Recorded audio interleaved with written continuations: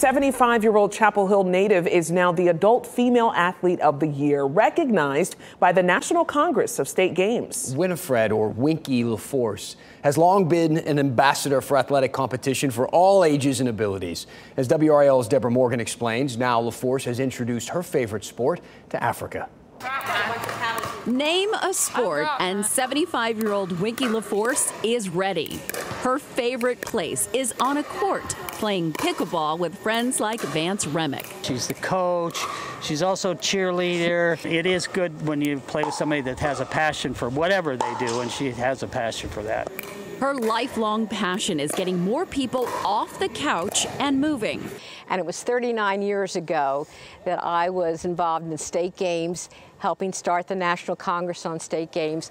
Now retired, LaForce is an ambassador for pickleball. I've been to Ghana about 13 times, and in 2019 I woke up and I thought, this is, you know, I love pickleball. I love Ghana. Why don't I take pickleball to Ghana?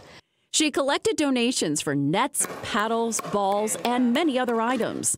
The cement court she left up to her friends in Ghana. Typical of Ghana, the truck that was bringing all the cement broke down. They all put the bags of cement on their heads, walked another mile, got the court all made. With Winkie's pickleball coaching skills, the game caught on like wildfire. They play from sundown to sunup, sunup to sundown.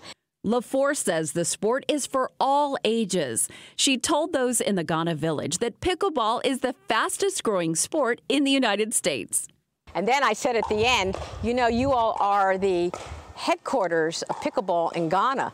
And they laughed and said, yeah, Mama Winkie, we're the only court in the, in the country. Debra Morgan, WRAL News.